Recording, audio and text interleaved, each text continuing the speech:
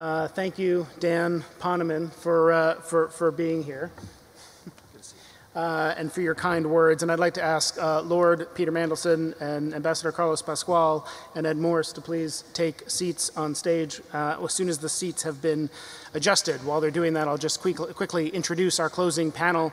Lord Mandelson's a former European Trade Commissioner, British First Secretary of State. He negotiated many trade agreements and led the European negotiations in the WTO Doha round, has held uh, too many senior positions in the UK government to, to, mention focused on trade, investment, and innovation. And like us here at the Energy Center, also understands the importance of rigorous policy focused analysis as president of the Policy Network think tank. So we're honored to have you here and thank you for traveling uh, from London to be with us here today.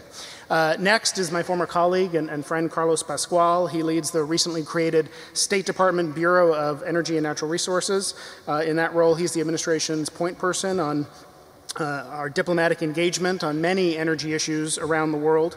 Formerly was the ambassador to Mexico and ambassador to the Ukraine, so he has expertise in some particularly important energy hotspots right now. Earlier in his career, worked in the White House on Russia, Ukraine, Eurasia at the National Security Council. So as you can tell, there are a few people better positioned to help us understand the interplay between geopolitics uh, and uh, energy. And I'm really grateful to Carlos for being here and for all I've learned from him and for his uh, distinguished public service and for his friendship over the years. And then finally, we have Ed Morse. Ed is one of the country's leading energy economists, now is global head of commodities research at Citi, and before that, holding similar positions at many other leading investment firms. He co founded PFC Energy, a leading consultancy, uh, was president of Petroleum Intelligence Weekly. He has worked in his career in government uh, at the State Department, also in academia at Woodrow Wilson School, and many years ago, I won't say how many years ago, as a visiting professor here at SIPA. So few people, I think, embody the center's uh, effort to bring real world experience and expertise to the discussion of policy as much as Ed, writing frequently in the country's leading newspapers and foreign affairs, including in the most recent issue, uh, and engaging, taking time to engage with senior policy officials, and I know they value his expertise a great deal. Uh, and most importantly, he serves on the advisory board of the Center on Global Energy Policy. And on a first, personal note, it was from Ed that I first heard that uh, Columbia was looking for a faculty member with energy expertise to start a new center, so I wouldn't be here today if it wasn't for Ed. So I want to thank you all for being here. I'm going to take a seat now, and we're going to begin our uh, discussion. Uh, I wanted to start um, by talking a little bit about the geopolitical impacts of the US energy boom. So you often hear people say things like the US energy boom is having really big geopolitical impacts, and then they give uh, an example, maybe what's happening with Iranian sanctions, but often don't take it deeper than that. And so my question is can we try to do that in a couple of minutes? What are the impacts? Does the US really engage in the world differently? Do we deal with countries and problems like Syria differently because the US is suddenly a much larger producer of oil and gas? Carlos, can I start with you? Sure. Um, the, I, I, think there are two things that one needs to think about in parallel.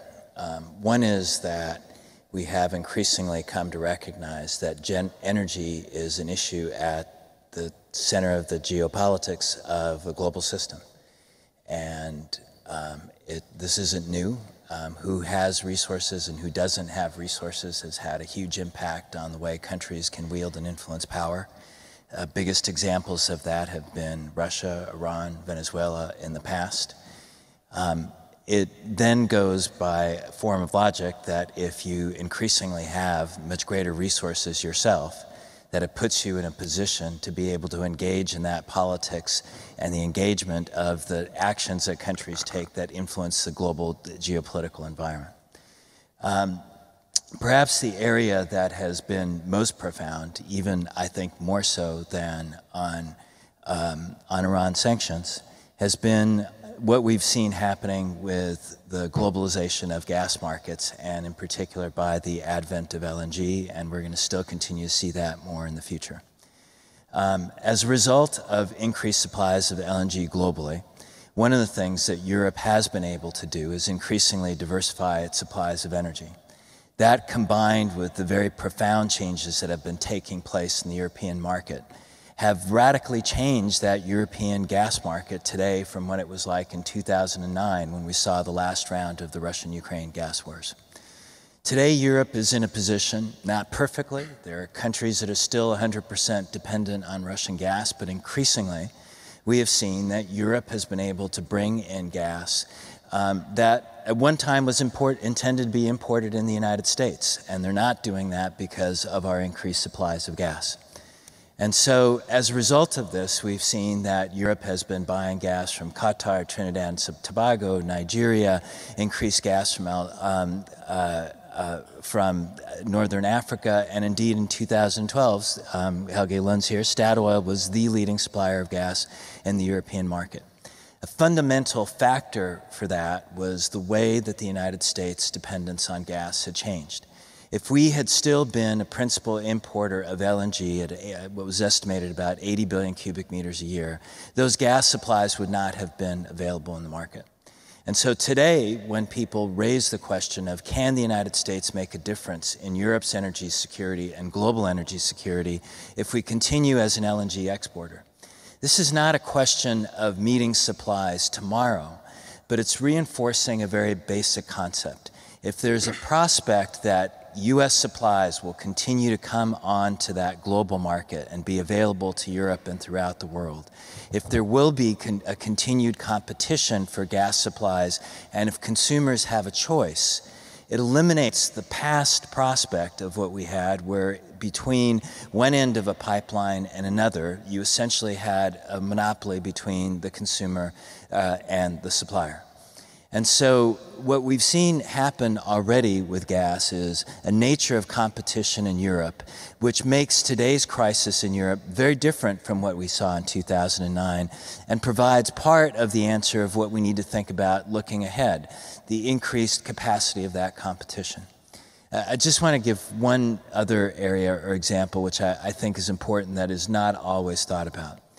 When you're a principal consumer of energy products and you're seen engaging in markets because you have the need for the commodity yourself, it reduces your degrees of freedom and flexibility in that market. And an area that has become an increasing prospect for energy supplies for the future is the African continent. And one of the critical issues where I think the United States has played a leading role is on transparency and governance issues. Norway has been a key partner in this in the Extractive Industries Transparency Initiative. Why is this important? In Africa today, there is more money and capital flight that leaves the continent, principally from extractive industries, than is annually invested in the continent between FDI and um, international uh, donor assistance. And so, one of the things that's really helped us to do is to be able to engage across the continent, whether it's been on the petroleum industry bill and the implementation of EITI in Nigeria, to working to, with countries such as Mozambique who are developing new gas resources, to be able to be a force for transparency and governance. Because in the end, that is going to be a basic factor in the ability of those countries to supply their own populations with energy, and is going to be a factor in the willingness of those countries to be able to contribute, contribute hydrocarbon resources onto global markets. So, just a couple of examples of where it's made a difference. It's not a panacea. It doesn't mean that you can intervene, that you're not immune from global markets, but it gives us the ability to be able to contribute to transparency and competition in global markets in the way that we haven't been able to in the past. Dan, do you, oh, and I didn't introduce Dan in my introduction because we had introduced you earlier in the program, uh, and you would need no introduction, um, having won the Pulitzer Prize and being widely regarded as perhaps the world's leading energy expert and uh, founder of Cambridge Energy Research Associates. But uh, um, uh, you, I wanted to ask you to sort of answer the same question. How do you think, as you look over the history of the U.S. role in the world and the role energy has played, what does it mean that the U.S. is experiencing this energy boom now? You know, I, I think as, as Carlos emphasized, it's not a panacea. It doesn't mean uh, that everything is transformed, which I think was even in the immediate uh, beginnings of the uh, Ukraine crisis, we saw that sense. But it does really change uh, the balance of power uh, in the world to have this position. Uh, we can point to other examples that would follow from what Carlos said. If you look at, I mean, imagine if the US was importing LNG today and Japan is in the position it is today I mean, the, how would Japan have been able to hold together if, uh, in terms of uh, access to LNG? That's an example. And another example is the impact of what's happened here on, in part, explaining uh, the reforms that are unfolding in Mexico. So it does take uh, many different forms. And um, I think since we were here last time, I had the experience of uh, being uh, shouted at by Vladimir Putin about shale gas. So I know how he feels about it for obvious reasons. Um, Ed, do you, uh, do you have thoughts on this question of sort of the U.S. Uh, approach to foreign policy? Sure, I do. Um, I think the setting is one of really disruptive change, and uh, it, we're trying to, from a policy perspective, people are trying to come to grips with the change. Is the change real? Is it going to be reversed? Um, what are some of the implications of it? And I think, you know, we're now almost at the position where uh, there's general recognition that uh, the ability to exploit these unconventional resources is real, is here to stay, and is here to stay for a very long time. And I think there are two observations I'd like to make along uh, Carlos's line. One, one is that effectively the LNG business is marketed as though it were a pipeline business. Uh, and the advent not just of the U.S. as potentially the largest LNG exporter in the world, but along with the U.S., Canada, and Australia, is really making a fundamental change in that market. And uh, you know, Charif's facility is the first one that will make the change because there are off-takers from uh, the Cheniere facility that are going to buy, the, buy, buy and sell spot. They're going to effectively buying in order to, or committing to buy in order to sell spot. Uh, the, the interesting thing about the US, Australia, and Canada, unlike Qatar, Indonesia, uh, or others in times past, is they can have these anti-competitive uh, behavioral patterns in which they have destination restrictions, in which they prevent the resale of cargoes. Uh, and now all of a sudden, three major OECD countries with traditions of not allowing anti-competitive uh, behavior will be in the market.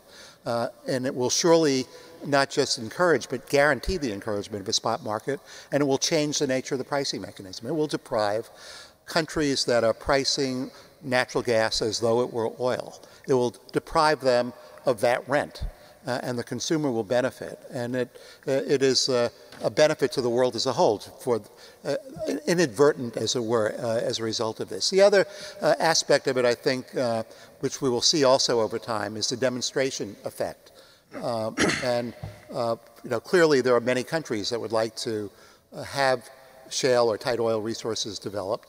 Some of them have made mistakes. One prominent country in Europe uh, put in a tax system that was so prohibitive that it uh, drove away the investors. Uh, and now we're finding among the fastest growing producers in the world, uh, Argentina of all places, uh, where there is the resource base and the desire to get the resources. And uh, they're at a stage that many uh, people who are cynical about whether Argentina would ever attract foreign investment uh, have to take a second look at it. Argentina was producing 12,000 barrels a day at the end of the fourth quarter of last year uh, and has now doubled that, and it will go up fourfold between now and the end of the year. That's a remarkable demonstration effect that will, I think, further add to the supply resource being developed on a global basis, and it's because of the demonstration effect coming out of the U.S. You mentioned Europe. Lord Mandelson, I wanted to ask you to sort of comment for a minute on European energy policy and what your sense is of how well it's working or not working to achieve different policy objectives. Security is one objective, climate change is another uh, objective. There have been concerns that it hasn't been uh, necessarily uh, effective in doing that, but at the same time uh, has had impacts on prices and competitiveness. How do you, what's, what's your take on European energy policy, where it's working, where it's not, where it needs to be improved? Well, if you take a helicopter view of what's going on in Europe, you'd have to conclude uh, that things are not going terribly well. I mean, if you consider the policy objectives that we had, we set for ourselves when I was a member of the European Commission in 2005 6, uh, we wanted um, uh, cheaper, more efficient, less costly energy. Uh, we wanted lower carbon uh, emissions. Um, we wanted to uh, um, have our economy uh, with a, a, stronger competitive uh, base, and we wanted to play our uh, important role in the world in international climate change negotiations. Well, if you look at the situation now, our energy uh, is um, uh, more costly. Uh, our, uh, our in, industrial base is less competitive. Uh, we have poured tens of billions of euros into very subsidy-hungry uh, renewables. And whereas about 10 years ago we were throwing something in the region of 0.24 tons of carbon into the atmosphere for every $1,000 uh, of our GDP, for all the policy focus and drive and money we have spent, we are still now throwing out something in the region of 0.24 tons uh, per thousand uh, dollars uh, of GDP. So that is not uh, a very happy uh, situation for Europe to be in, which is why we look uh, at the United States energy uh, revolution with colossal uh, envy.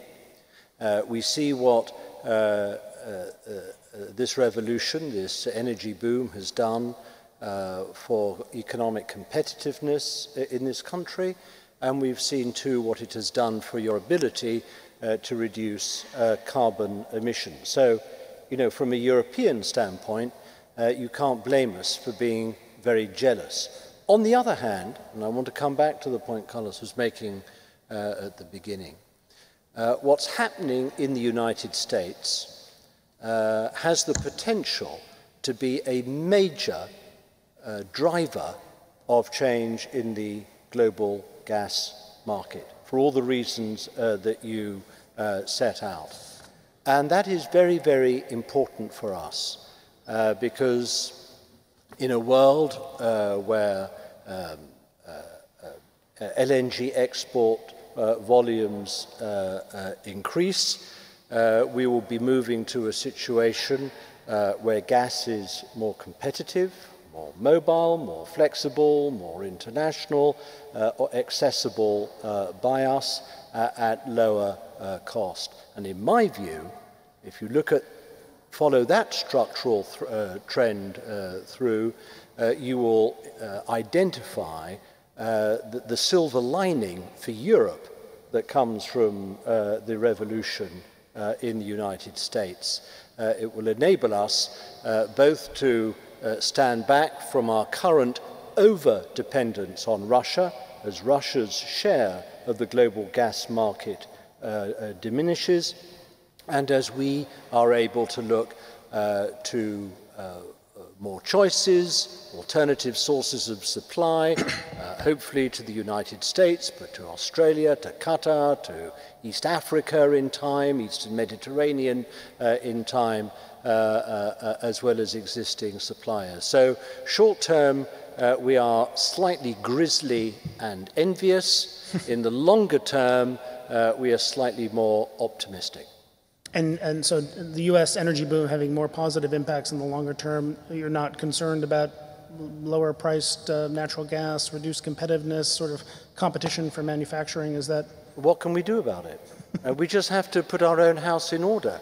We've got to take advantage uh, of those changes that are taking place in the global ca- gas market, uh, given that at the moment, you know, we're pouring a colossal amount of money uh, into renewables, uh, taking increasing at the moment volumes of carbon emitting uh, uh, coal uh, being displaced from the United States uh, market, throwing nuclear out of the window in many cases, and not taking, not grabbing the opportunity that is offered to us uh, of natural gas, of shale, where it exists in different European countries. This is what, these are the different factors, uh, and put, in my opinion, poor policy making uh, that has uh, created uh, not a shambles, that would be an overstatement, uh, but certainly a degree of incoherence in European policy making that we have to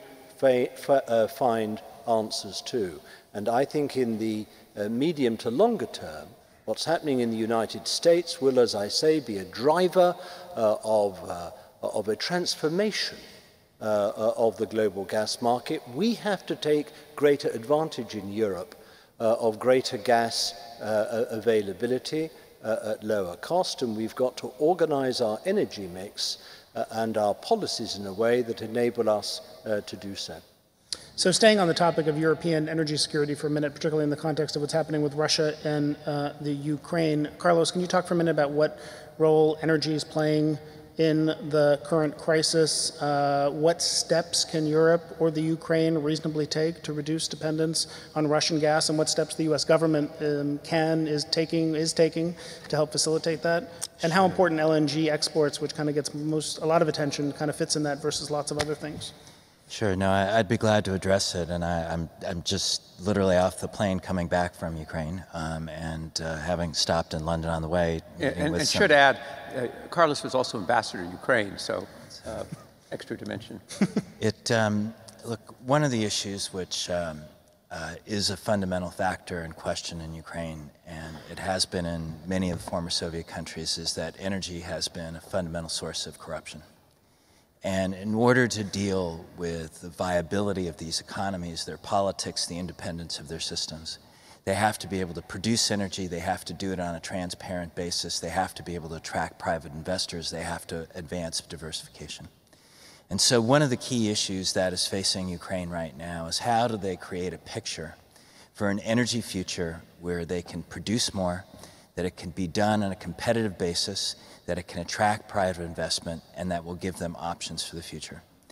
So, the first thing on Ukraine that's absolutely critical is to recognize that there is an option for the future, that you're not just playing the short term game. They have significant supplies of natural gas. Ukraine right now consumes about 50 billion cubic meters of gas a year. About 28 um, billion cubic meters of that is imported from Russia. About 2 billion they get from the West, and about 20 million gets produced domestically. Of that 20 billion cubic meters, they could realistically expand that by some 30% and perhaps more through investment in new technology. They're using the same technology that they used during the Soviet period in the 1970s, and I'm sure that these two gentlemen sitting at the end there have great ideas of what they could potentially do by engaging in the Ukrainian market. They have the ability to produce shale gas. Um, last year, Ukraine signed contracts with Chevron, uh, Shell, Eni, uh, for shale gas developments. And over a 20, uh, 10 year period, or by 2020, realistically, that could be expanded by 15 to 20 billion cubic meters. Ukraine has had huge subsidies in gas. In the past, it constituted about $13 billion a year, 7% of GDP. And so they have already started on May 1st, the beginning of phasing out of those gas subsidies, which will create an incentive for energy efficiency. And if you bring those factors together, it presents a, a situation where by 2020 or soon afterwards, Ukraine could be in a position between more production and efficiency to have choices about whether it imports Russian gas or not. Now, in the short term, the answer then becomes what can Ukraine do to create some of its options? And so, one of the things that the United States, the European community, Ukraine's neighbors have been working on are what are called so called reverse flows. The ability to use this European gas market that now allows gas to be traded north to south, east to west, west to east, to be able to move gas so called backwards back into Ukraine. So there's already about one and a half billion cubic meters of gas capacity in Poland. It's small, but that has already begun. In Hungary, the potential is as high as 6.1 billion cubic meters a year. And those negotiations are on track, and potentially we'll see some results of that soon. On April 28th, Ukraine and Slovakia signed an agreement that will create a physical capacity to begin importing 3.2 billion cubic meters a year, expandable to between 8 and 10. So, if those mechanisms are put in place, what it will begin to do is give Ukraine the ability to have some diversification of supply so that it's not just dependent on supplies from the East. The other key factor is to recognize that Russia, Ukraine is going to have to buy gas from Russia. It absolutely needs to do that at some level. And so the critical challenge is to put that purchase, that trade in gas on market commercial terms. And this is where it's so crucial that the European Union is playing a role. And what the EU has done is to try to create a competitive gas market in Europe. And in that market, there's certain characteristics. The market defines prices. The market establishes that those who purchase the gas have the right to trade it. And the market also requires that those who consume the gas actually pay their bills.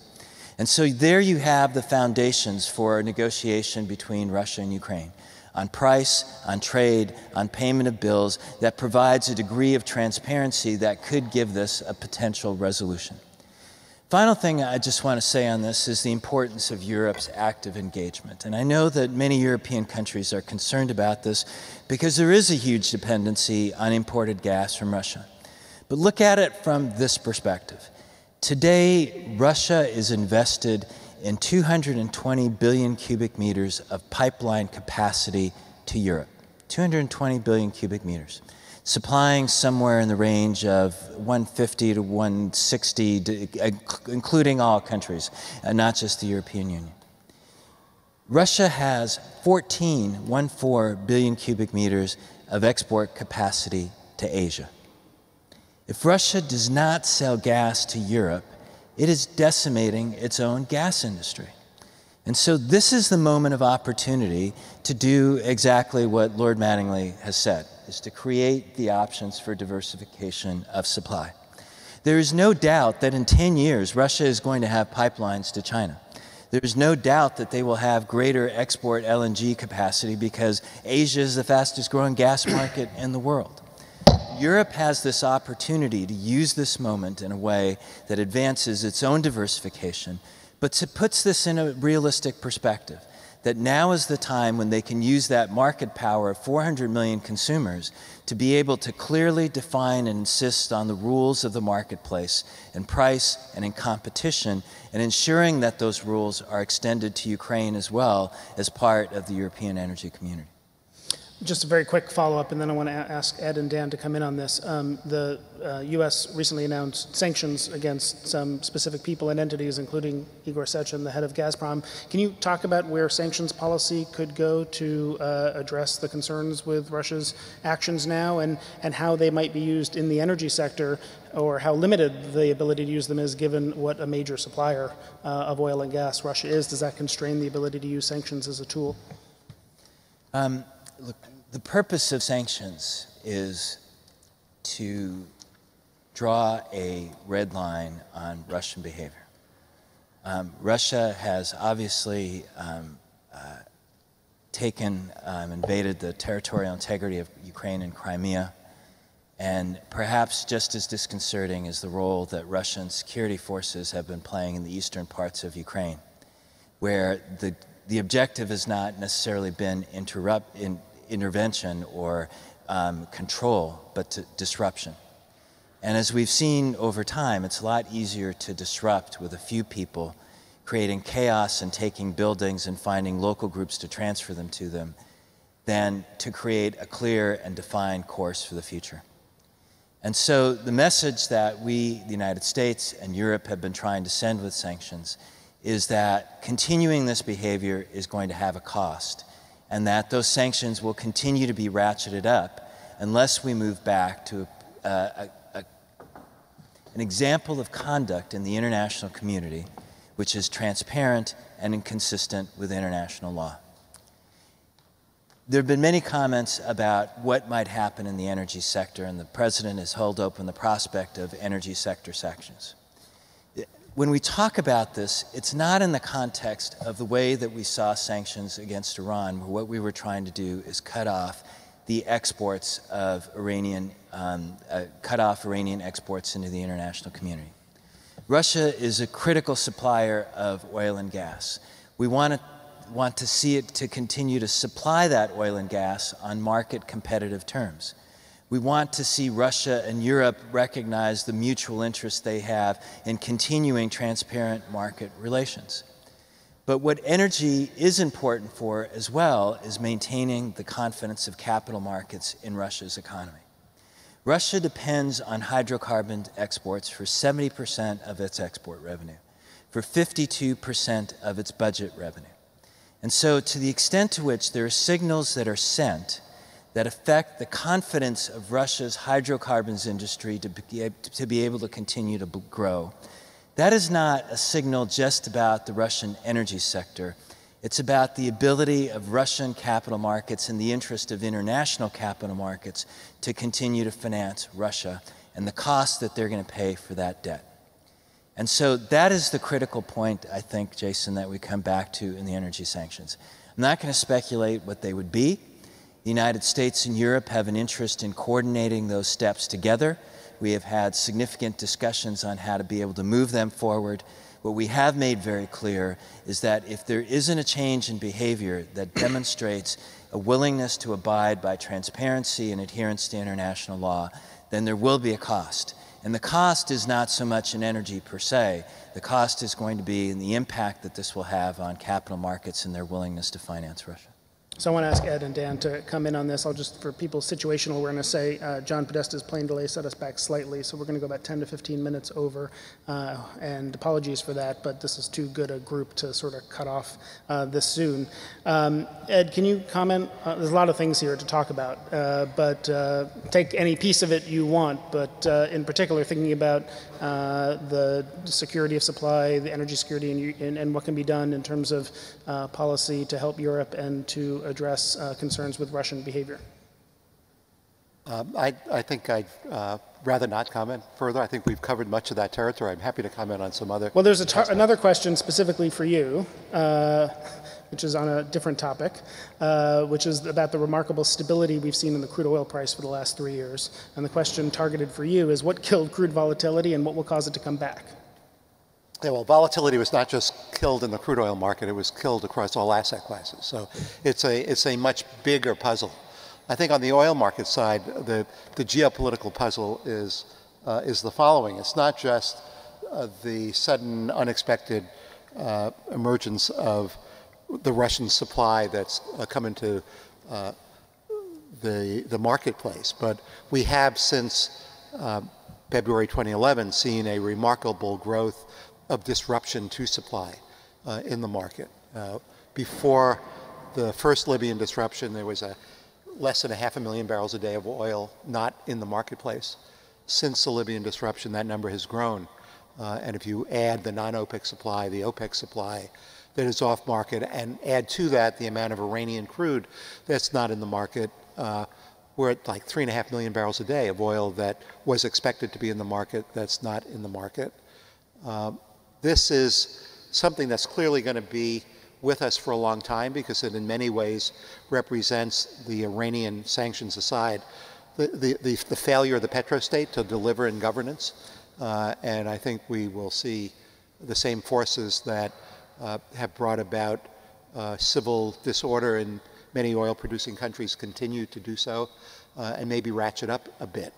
The really remarkable phenomenon is the market's non-reaction. It's not just the oil market's non-reaction, but financial markets have not reacted to Ukraine. They've not reacted to uh, oil disruption, and oil prices have actually been in increasingly stable uh, over time since the February 2011 uh, Libyan disruption. Not only stable in terms of the average price of Brent, and of course what's happening in our markets is uh, another issue, but uh, the trading range has narrowed from 88, 89 to 120 to something on the order of 103 to 112 for Brent. So uh, it's a remarkable puzzle, and uh, the question is whether the new supply coming in from Canada, the US, and increasingly from other places will be the balancing factor in the market that will allow the world to undergo uh, a record amount of disruption in traditional flows, uh, which is a record not only in the volume, but a record in terms of the, the dispersion of the disruption to as many countries uh, as we've seen, with more potentially on the horizon. Dan, can I ask you to respond to? Well, yeah, I wanted to do that, but I thought first, if you don't mind, I will like to come back and answer. But Peter was, Lord Mandelson was the trade commissioner of the EU, and I'd love to hear from him about sanctions and, and your view of, of the use of sanctions now and the situation and the efficacy. And then I'll come back. Yeah. Well, I'm not uh, in office, and so I have the luxury uh, of commenting on this uh, from this uh, stage rather than from within the government. But my view is that uh, sanctions are, are necessary, inevitable, um, that they uh, will, if uh, Russia continues to introduce further instability uh, into Ukraine, uh, need to go to a third stage. I think in those circumstances, the sanctions will target state-related Russian companies rather than individuals. Uh, and I think that uh, however loath they are uh, to see this further stage being reached, I think that key European nations are, are sort of girding themselves uh, uh, for uh, this possibility. Um, I, I can't judge uh, what's going on in Mr. Putin's head. Uh, I heard uh, what he had to say yesterday, Uh, and I think we have to treat what he says uh, with a degree of skepticism. Uh, I don't mean rejection or hostility, I mean literally skepticism. Uh, we, we have to question uh, how sincere uh, he is in what he says, uh, and we have to see uh, real events, real people on the ground uh, reflecting uh, what he is saying before we can draw the conclusion uh, that he is actually seeking to de-escalate uh, this situation. Second point I would make is this.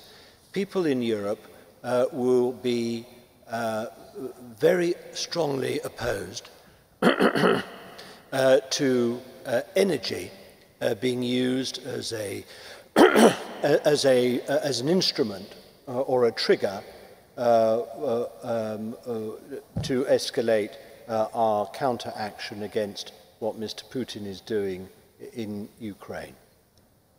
Uh, and therefore, we would uh, want to see financial services, capital markets, uh, uh, and flows targeted uh, as, a, as a way of sanctioning uh, Russia, rather than sort of mounting any sort of um, sanction or embargo or blockade uh, against uh, Russian energy. I don't need to explain why that is the case, given uh, the uh, dependency uh, of uh, uh, Europe generally uh, on Russian sources, and given the position of Germany and Italy in particular as Russia's largest uh, customers, uh, the possibility of either of those two countries or others uh, uh, uh, agreeing to uh, using sort of energy uh, as, a, a, a, as a lever in this, uh, uh, uh, well, just don't hold your breath for it. Last point I'd make is this. Um, in its energy relationship with Russia, you know, Europe is not heading for divorce. I mean, the relationship is too big uh, for that, and it will continue to be big, and it creates a source of uh, dependence, mutual dependence, between Europe and Russia uh, for anyone uh, to contemplate uh, divorce, uh, even in the medium term. On the other hand, Europe is going to become far, far less monogamous in that relationship it has uh, with Russia. Uh, the emphasis on creating greater energy uh, resilience. Already we are far more resilient in Europe than we were uh, when the last interruption of supply occurred in 2009, not least because of the expansion of gas storage and because of the uh, investment in interconnectors. And that, uh, uh, and that has got to uh, uh, uh, uh, grow. Uh, but above all, we've got to look to those choices and alternatives, taking advantage of changes uh, in the, in globe, in the global marketplace uh, over time to reduce our dependence uh, on Russian uh, uh, gas. Last point I'd make also is this. Russia has as much to lose from playing about uh, with energy supply, uh, even to Ukraine, let alone uh, uh, the rest of Europe, uh, as we have uh, uh, as a cost in, in, in playing around uh, with our supply. If Russia moves and interrupts supply, even to Ukraine, that will send a massive signal to the rest of Europe, but it will also send a massive signal uh, to the East, to Asia. And if they want to adjust uh, their uh, uh, uh um, uh, market mix and look more to the East and to Asia Uh, uh, to find uh, outlets for their energy, then they better step back from, from breaching that trust as a supplier because what everyone will uh, uh, see in the future is one he heck of a big need not to become, not themselves, to become reliant uh, on Russia as a supplier in the future, if this is the sort of action that they're prepared to take, even in relation to Ukraine, let alone, as I say, the rest of Europe. Dan, you should pick up any piece of that you want. There's a lot there, but I'm particularly interested also in your thoughts. We're talking a lot about energy security and uh, what that phrase means to you and how in the US, where we talk a lot about we're not importing gas anymore, we're importing much less oil, what does it mean to be more energy secure for our country? Right. Well, let me, if I can, respond to some of these points too. Uh, a lot of wisdom has, has just been spoken, but it's striking that we are sort of a little bit back in a sort of Cold War. A lot of effort went into trying to assess what are the intentions of the Kremlin. That kind of went out of fashion, and yet here we are again. What are the intentions of the Kremlin? Was this an impulsive response to the sense that uh, Ukraine was going to move into, uh, into the Western sphere and no longer be part of this Russian sphere of privileged interest? Uh, was it uh, the fact that, as President Putin has said, uh, in 2007, Ukraine's not a country? Um, or was this a long strategy and so forth? And what kind of game is it being invented as it goes along or not? And I'm sure Carlos has some views of that. But uh, the point that Peter made about Russia has spent five decades trying to establish that it is a reliable supplier to Europe, except a few countries to the east, and that uh, in fact, just recently, the number two at Gazprom said gas, natural gas is not a, a weapon, it's a commodity in that point. And exactly, and now that Mr. Putin in two weeks will be in Beijing talking about a gas deal with the Chinese, and the point that Peter made is something that will be actually hanging uh, over that. I think when we talk about sanctions, um, there has to be coordination with the Europeans, and uh, they will have somewhat different uh, perspectives on it because of a different kind of engagement. I think there's also always the question with sanctions of unintended consequences. You hear about, you know, sort of garden variety financial institutions who now find that they have a problem in uh, because they have loans that they need to make some changes in. Are they violating sanctions? And we don't want sanctions that will hurt the countries of uh, Eastern Europe. So getting them right is quite a challenge.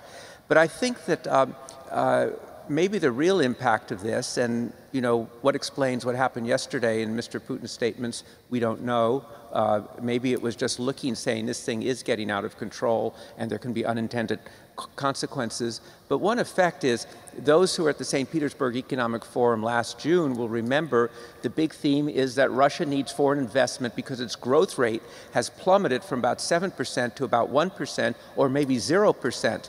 Well, one thing that's probably as a result of this, sanctions or no sanctions, that most every company, at least thinking for the future, when they go to their board to talk about what are they going to do in Russia, many of them will look at the calculations differently uh, than they might have uh, a year ago. And that's a very important issue when part of the deal that the Kremlin has with the Russian people is we will deliver a higher standard of living to you uh, rather than no growth.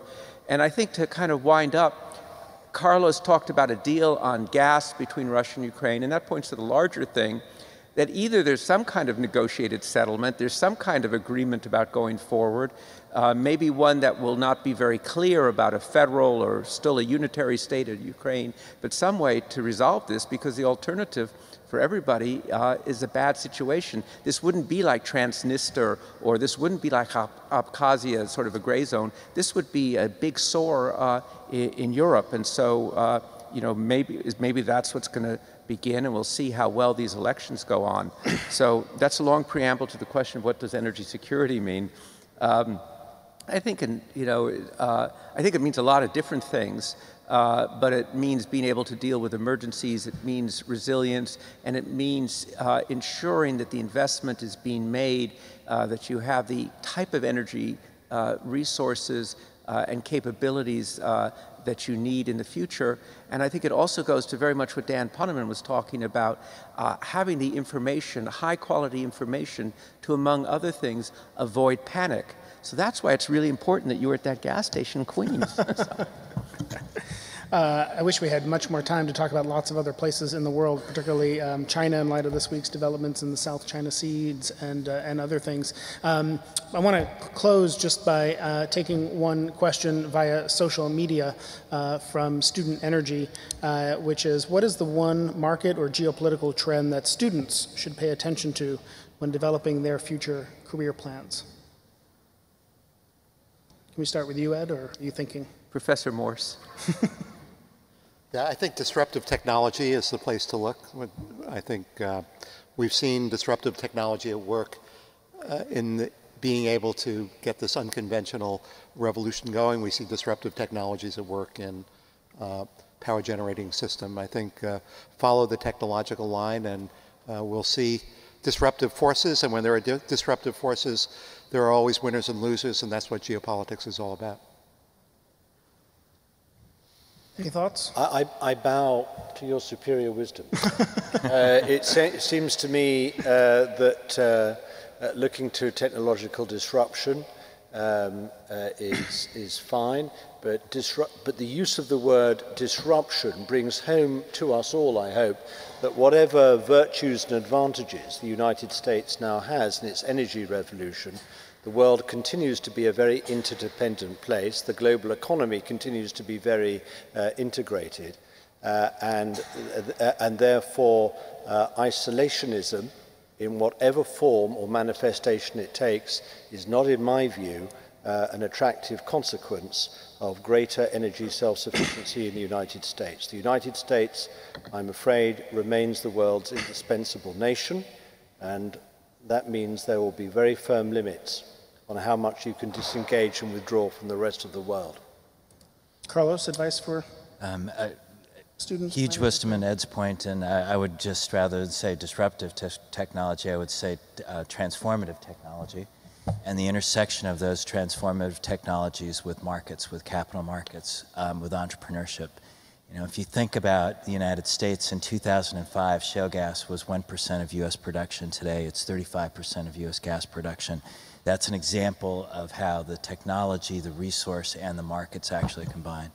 The other thing that I, I, would say, just looking ahead over the next decade, is the transformative nature of natural gas markets and the phenomenal way that they are changing. Um, the advent of LNG, and Charif is you know, at the center of that, is having a massive impact on those markets. But the geopolitical implications of this, of creating competition and trade, the way it affects major suppliers, the way it impacts consumers, is huge in magnitude in politics, in economics, and in technology. And it's a fascinating area in which to engage. Closing so, word of advice? So I thought I could uh, extract. Uh, uh, one sentence summary from the quest and a one sentence summary from the prize. uh, I think the quest is what Ed pointed to and has been modified. Uh, disruption, uh, you know, you can just think, it does seem every three or, I mean, we all sort of think we know where the world's going, and every three, four, five years ago, something comes along a financial crisis, a Fukushima, uh, shale gas, upheaval uh, in the Arab world, et cetera, and you get you kind of move into a different reality. So I think disruption and surprise is one lesson. The other, in the prize, as I sometimes look back at that book, it has hundreds and hundreds of very interesting characters. But the two most important characters in that book are, I believe, supply and demand. So I think that the other thing that is uh, very important is uh, actually seeking to understand uh, how these energy markets work and how they're changing. Great. I think everyone is familiar with those, but sometimes people are uh, new and learning about energy or students are new to the field. And so the Quest and the prize, uh, the prize for which Dan won the Pulitzer Prize, and the Quest uh, more recent book, both of which are absolute must reads to understand the history of U.S. energy and what's happening in the U.S. Uh, energy space now, which are certainly assigned in my course, and I know lots of other people's uh, as well. Uh, so I appreciate your indulgence going a few minutes over. I really appreciate our panelists' time being with us today, and some, like Lord Mandelson, traveling from far to be here. I hope you've enjoyed this and, and learned as much from it uh, as I have, and uh, we will be back next spring with another uh, annual forum, as well as many, many programs and conferences and speakers uh, and lecturers in between, uh, as well as research coming out of the center. So I'd invite everyone now to not only give everyone here a round of applause, but also then to join us for a reception in the faculty room, which is directly behind the stage. Thank you.